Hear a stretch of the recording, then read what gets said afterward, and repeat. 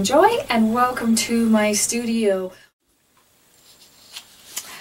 I found these really pretty metallic pumpkins at Dollar Tree and they came in different colors and I thought they were really pretty. My first thought was to put alcohol inks on them and you could do that as well but it didn't quite turn out the way I wanted to so I'm going to show you how to gold leaf them and I think it just really adds elegance to them. Now, you could put them on the little foam pumpkins if you couldn't find the metallic pumpkins, and that's fine as well. Or if you wanted to paint them metallic, you could use acrylic paints, base coat them with um, a lighter color. Reds, and yellows are really hard to base coat a nice coat with so kind of go down in color like a straw background for that and more of a lighter uh, copper color, not a fire engine red. That's a really hard color. Your greens are more simple. Uh, they're an easier one to do. But I wanted them to be different layers, and we're going to talk about that. Um, Dollar Tree does carry one size of the candle holders, but I like three different sizes. If you could not find the three different sizes, you can always stack stuff underneath them. I use like wood slices and you could put two, one, and then none. So you can do something like that or you can go to the thrift store, which was what I did, and find the three different sizes. So that's totally up to you. So we've got those working with us here. And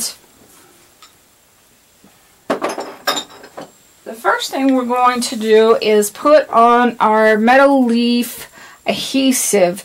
And this is kind of a glue to put the metal leaf on. And the first thing you want to do is shake it really really well. And I use an old brush.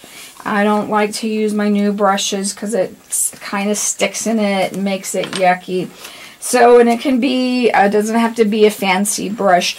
On your pumpkins, you don't want to go halfway. It's more pleasing if you go a third of the way or two thirds of the way. So kind of think about that. And I don't want an even edge. So, and I'm going to kind of put this on about pretty decent amount. And we're going to make sure we kind of come down those little guys as well. But see, I don't want them straight across at all. We're just bringing those down as they come.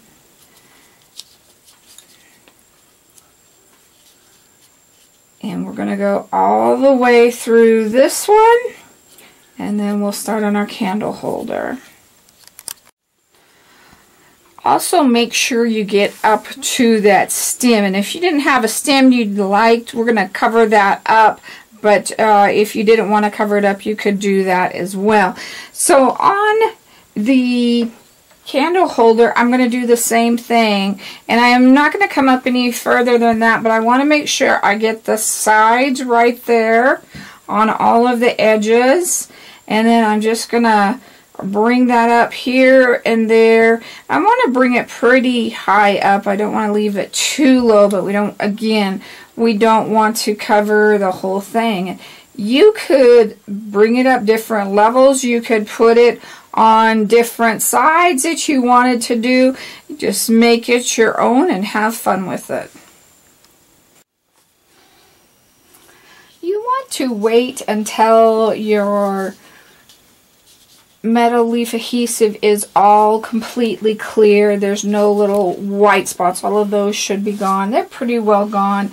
And they're also gone on our glass. It says it takes an hour.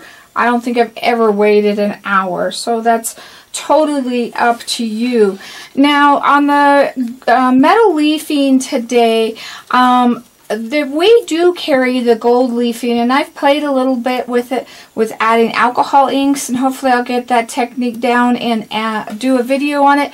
But right now I have a colored one and I purchased this one from bluewhalearts.com they have different colors. They have some reds some blues some different things like that but they're really pretty and I, I, I like those a lot. So um, they're he, easy and hard to work with. So many people complain about how hard they are, are to work with. And I don't think that they're that hard. And I think part of it is just taking your time, knowing that it's going to be sticky, and knowing how to just kind of pick it up lightly. I think you tr don't try to overdo it. So we're simply going to take these pieces and we're going to start to put them onto our pumpkin on the areas that we put our glue. And you can see like right there, there's no glue, so that piece is coming down. And you, could even keep this guy over here, and if you needed to put it onto a piece, you could put it onto him if you have extra pieces that were starting to come off. But you really want to push down on those. And we're continuing all the way. And you can do larger pieces. There's some gold fo uh, foil that comes in pieces, not sections like this. And I don't care for that at all. It is so much easier to do it this way as you can totally see and then I can go back later and just fill in the sections that I missed. I got a piece of glue on that finger there. Make sure you get really close up to your stem that that works really good there. And while you have flat edges as well, you may want to use the flat edges to go around the bottom of our candle stick, our candle holder. We see we've got a straight edge there, and if you just put that on the straight edge, then you've got that. And you don't have to worry about that as much, and that's easier to do kind of like that. If you have any breaks, just take a little spot and go back in and fill all of those up.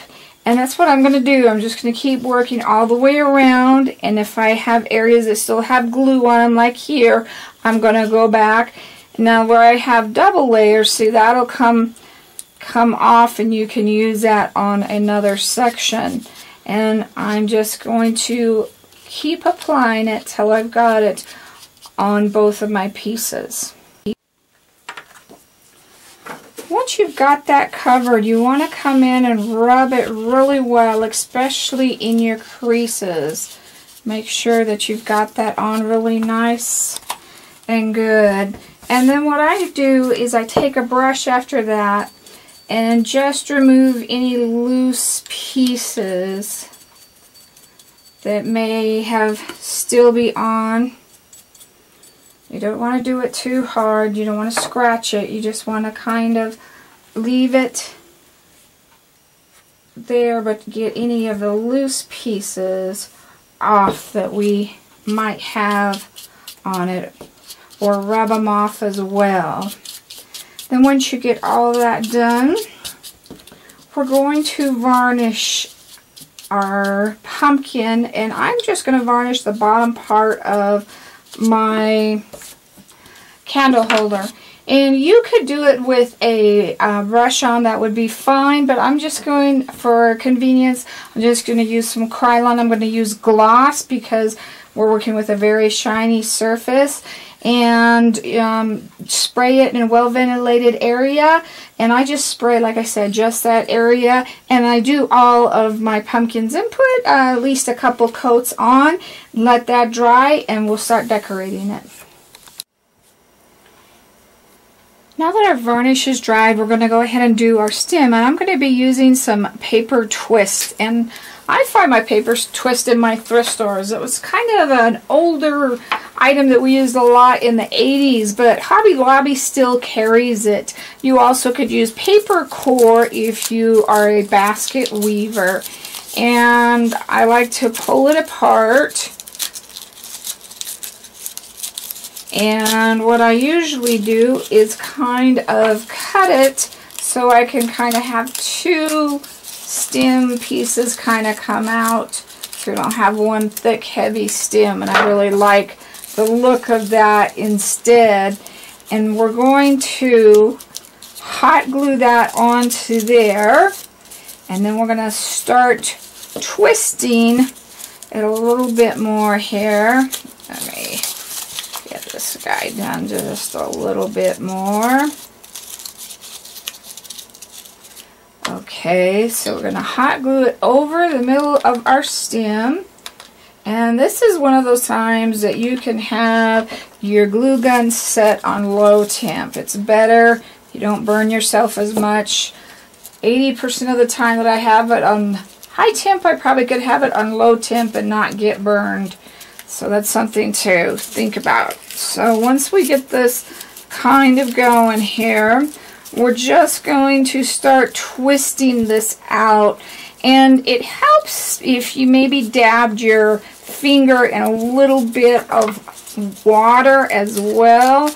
That would help twist that and keep that twisted just a little bit better for you.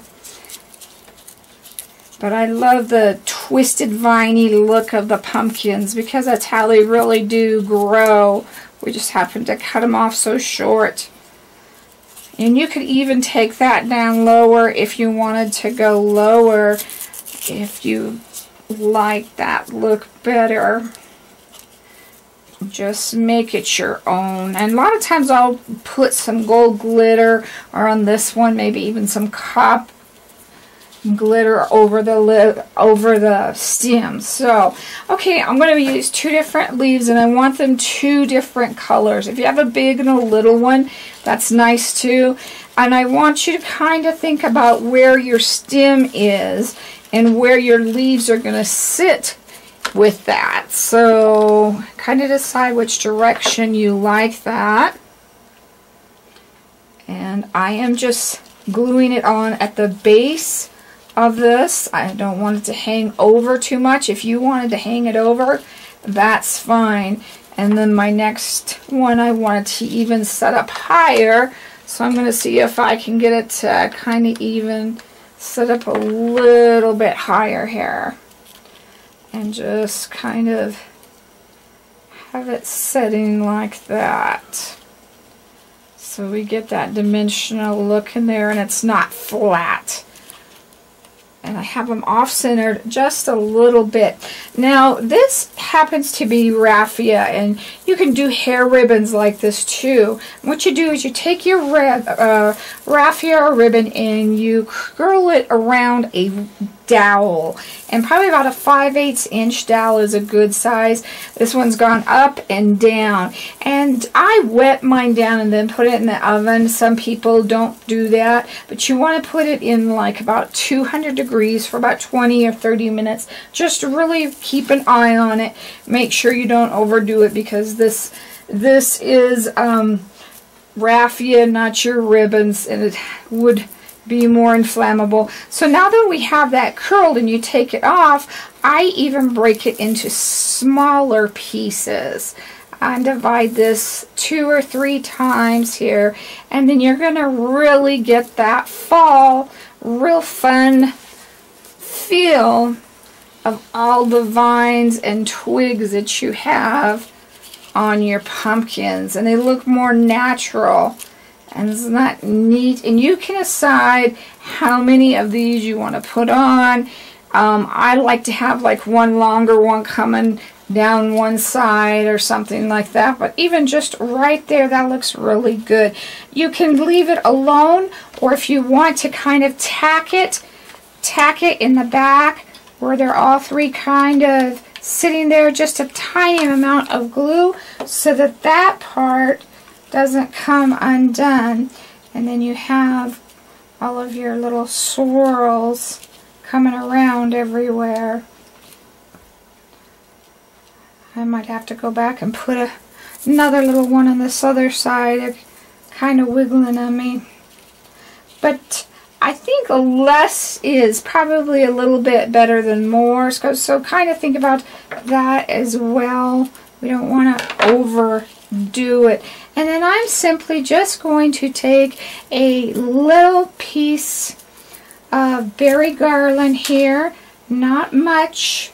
And just enough to pop the color. I'm going to twist it just a tad. And I'm going to stick it on this side out in the front so that I have one berry here and two leaves in the back to kind of set that off to three.